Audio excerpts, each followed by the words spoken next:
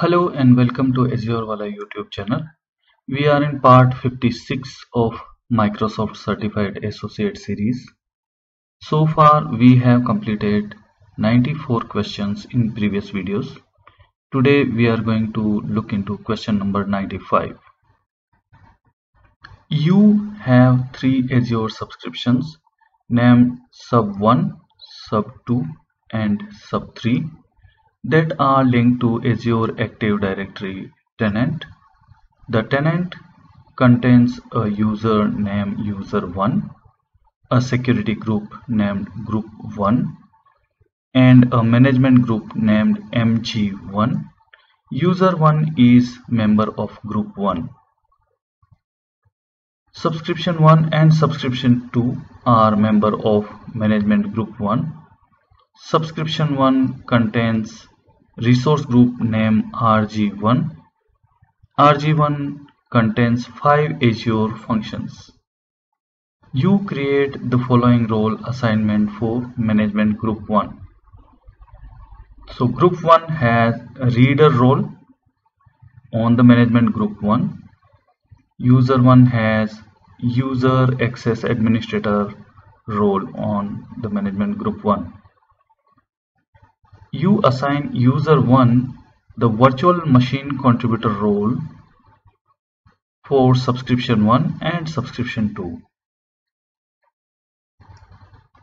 Let's visualize entire question on a diagram.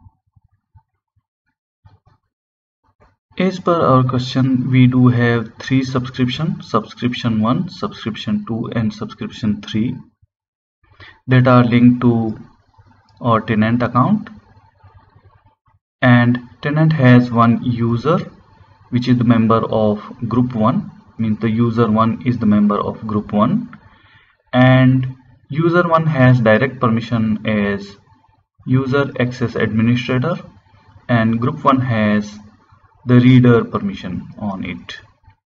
Therefore on the user 1 we do have reader permission and on user 1 we do have user access administrator permission and these both are applied on management group 1 and subscription 1 and subscription 2 are the member of management group 1 and again under the subscription 1 we do have one resource group 1 which is having five functions in it.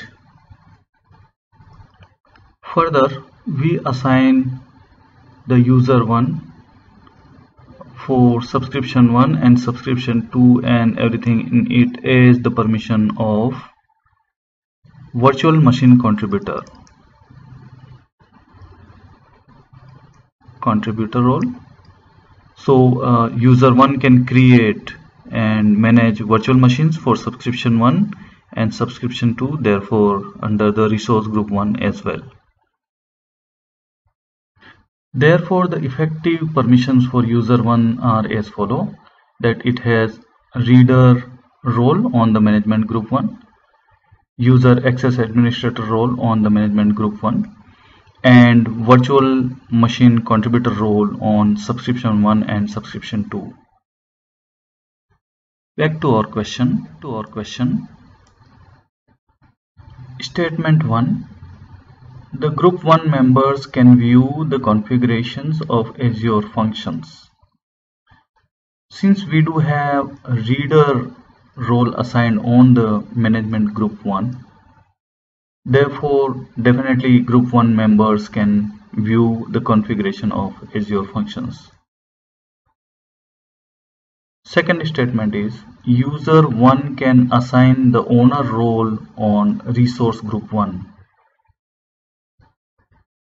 since the user 1 has user access administrator permission on the management group 1 which has subscription 1 in it and it has resource group 1 therefore definitely user can assign other users owner role for resource group 1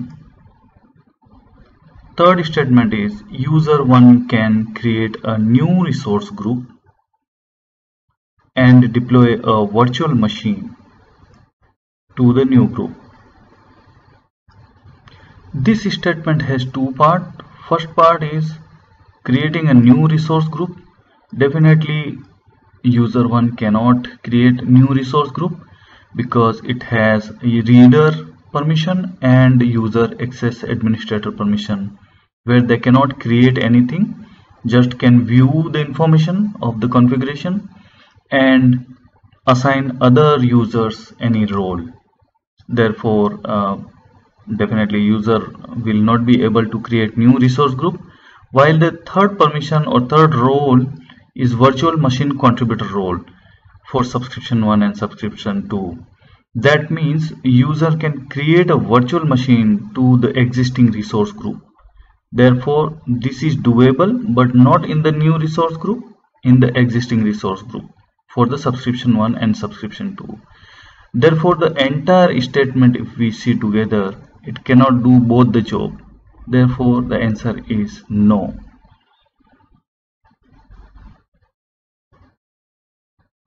I hope this video was informative for you. Please hit the like button, subscribe to my channel, press the bell notification icon. Thank you for watching this video. See you next video.